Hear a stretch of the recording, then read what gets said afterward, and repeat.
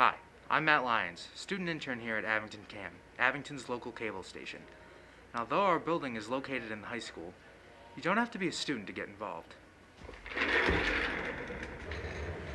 Anyone in Abington who's looking to contribute to the local access programming is encouraged and welcome to help out.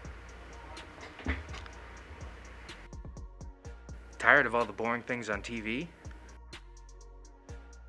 Well, here's your chance to do better.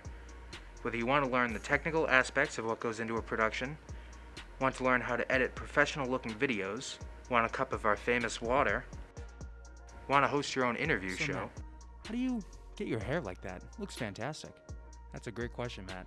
want to host your own art show, Or your own sports show. Go along. then Abington Cam is the place for you. So stop on by.